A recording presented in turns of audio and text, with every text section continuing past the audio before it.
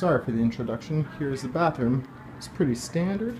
And here's the last bedroom, a very spacious again, with plenty of light. And there's your closet right here.